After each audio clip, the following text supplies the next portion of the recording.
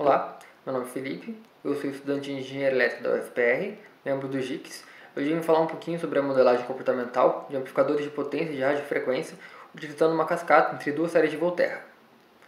Em sistema de comunicação moderno, o compromisso entre linearidade e eficiência energética é essencial para evitar interferências de canais vizinhos e melhorar o alcance do sinal.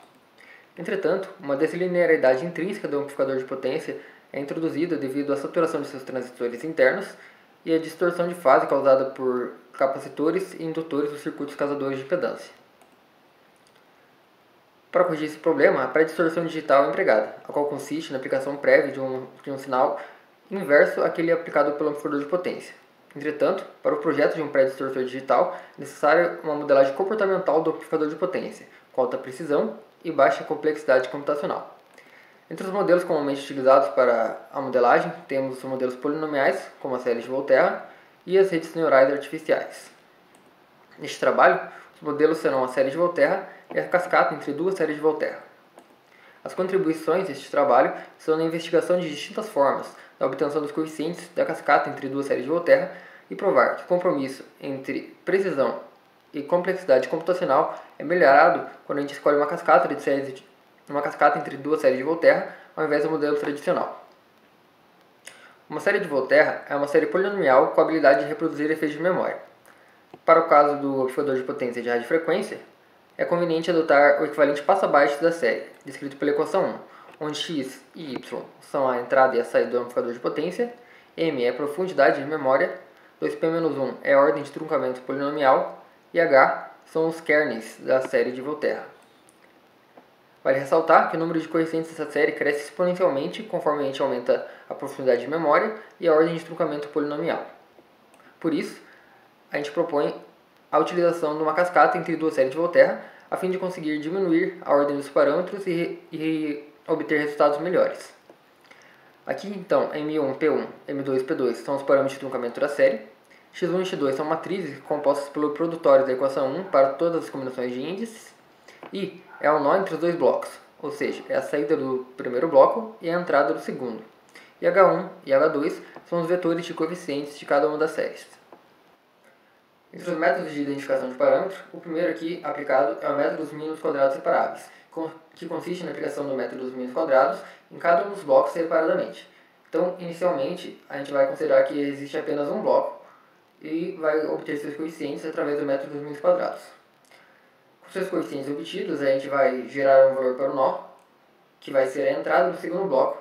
Então, com o segundo bloco tendo como entrada a saída do primeiro e como saída a saída do amplificador de potência, a gente aplica novamente o método dos mínimos quadrados, obtendo todos os coeficientes da cascata.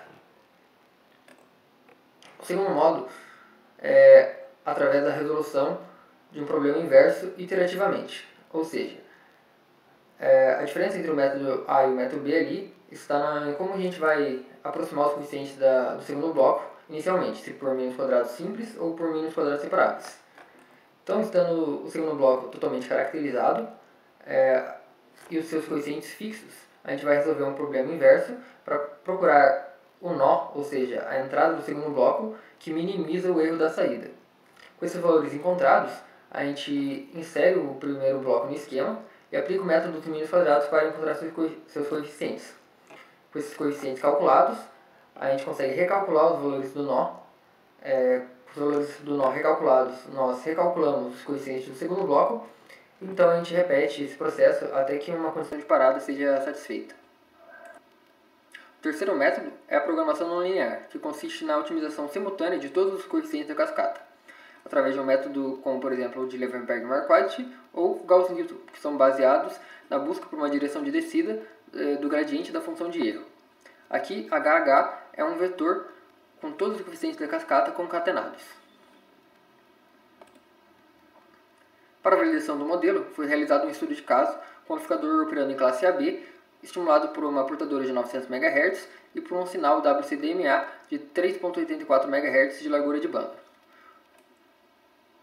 Foi calculado o erro médio normalizado para todos os casos computados e os índices variaram de 0 a 10 para o método dos mínimos quadrados separáveis e de 0 a 5 para o caso da programação não linear, respeitando sempre que o número máximo de coeficientes na cascata não deveria exceder 250. Foram então obtidos um total de 1.109 modelos e eles foram ranqueados de acordo com o seu NMSE de maneira decrescente. Na figura 4, Tn representa a curva cuja maior ordem de truncamento de um dos parâmetros é n. Nessa curva, se um ponto tem mais coeficientes e um pior NMSE que um ponto que tem menos coeficientes nessa curva, então ele é excluído, de modo que a gente obtém curvas estritamente decrescentes. Entre os 1.109 casos computados, 389 foram otimizados pelo método da programação não linear. Os casos foram divididos em cinco grupos, de acordo com suas características principais. O primeiro grupo é o grupo dos modelos tradicionais, onde um dos blocos tinha memória zero e ordem polinomial 1. O grupo 2 e 3 são grupos onde um dos blocos não apresenta memória, ou seja, é um bloco estático. E os grupos 3 e 4 correspondem é, aos grupos onde os dois blocos eram dinâmicos. A curva 5 apresenta as curvas de NMSE dos cinco grupos. Através da análise desses dados, observou-se que para o método dos mínimos quadrados separáveis, o primeiro bloco era o mais complexo na maioria dos casos, enquanto para programação não linear, o segundo bloco era o mais complexo.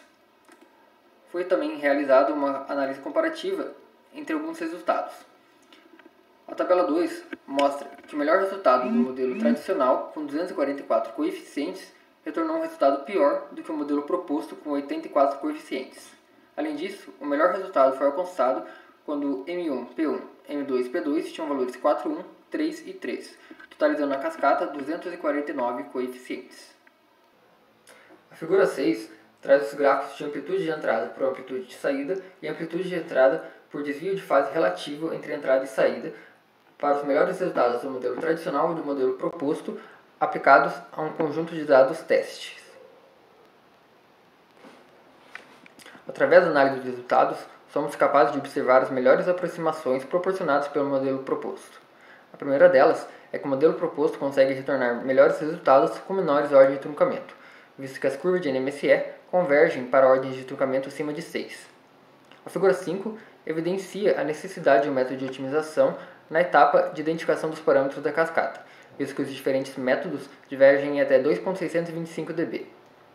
O uso do segundo bloco como mais complexo estatisticamente retorna resultados melhores. E a complexidade computacional foi reduzida em média em 54%, chegando a um máximo de 77% quando o modelo tradicional, com 203 coeficientes, retornou um resultado pior que o modelo proposto, com 47 coeficientes.